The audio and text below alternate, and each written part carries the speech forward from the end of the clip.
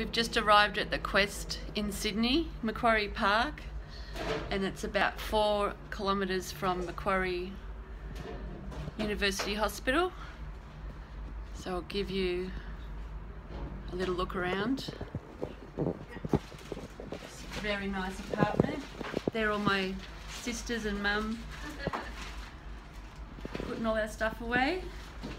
And there's a lovely balcony out there. So tomorrow at two o'clock I'm going to get booked into Macquarie Hospital and the next day will be my operation. So I will get back to you. Bye.